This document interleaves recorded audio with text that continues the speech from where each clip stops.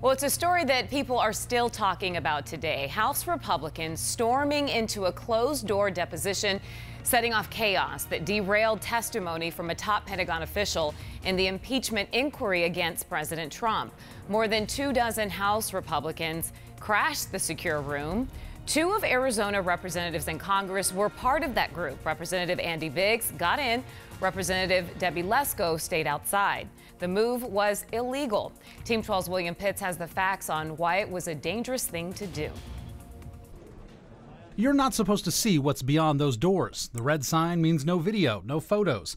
The facility is supposed to be completely cut off from the outside world. No cell phones, no computers, not even a Fitbit and it's where the House impeachment inquiry is happening. We're going to go and see if we can get inside. Two of Arizona's congressional representatives in the crowd demanding Democrats let them in, forcing their way inside Wednesday. Representative Andy Biggs going on Fox News responding to criticism that Republicans breached security, bringing cell phones inside, some even tweeting about being there. But we immediately gave those up so they were they were out of there. When I was tweeting, what I was doing is there's one secure phone in an office and as this thing, as Mr. Schiff took the witness immediately out of the room as soon as we came in and sat down, um, we sat there for literally several hours, and I went and made a call to my staff and told them, this is what's going on. Please tweet X, Y, and Z out. Representative Debbie Lesko also in the group, but not inside the room. I was there saying, I want to get in, and they told me no. The Republicans saying what they did was out of frustration with the impeachment process going on inside. I have every right. I'm a duly elected member of Congress. I should be there. If they're going to impeach the President of the United States, they better open this up to the public.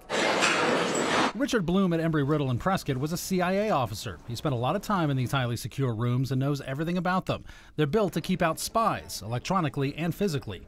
And we even get into things like the walls, how thick they should be, uh, what they're made of, again, the distance of uh, pieces of equipment from the walls. Blum says a security breach like this one may not mean much for the impeachment hearings, but that room is used for other things, things spies might want to know. It could be anything from talking about uh, uh, nuclear weapons or the next uh, uh, paramilitary intervention in some country.